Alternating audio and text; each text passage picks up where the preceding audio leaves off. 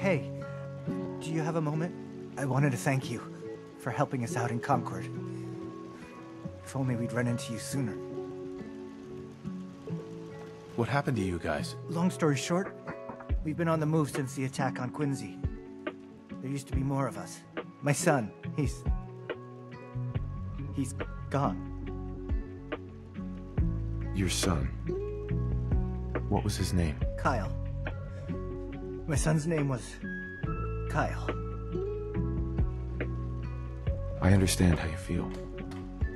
I lost someone too. You and I... We're still here, right? We have to go on. For them. We do better. Okay? Come on, there's nothing to apologize for. You worry about you, and everything will take care of itself. Okay. Thanks, Sturgis.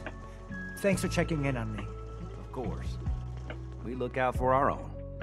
Always. I know I'm not the only person here who's lost someone.